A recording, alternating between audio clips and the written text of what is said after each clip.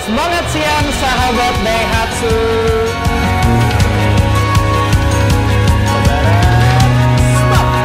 Selamat sekali lagi kepada Cindy Rahayuni. Sah semuanya?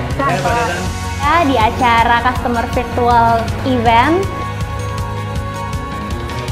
Untuk itu, saya ucapkan terima kasih dan sebagai apresiasinya nanti akan kami berikan penawaran-penawaran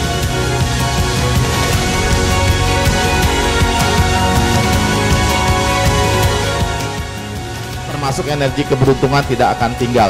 Sinar matahari sudah saya bahas.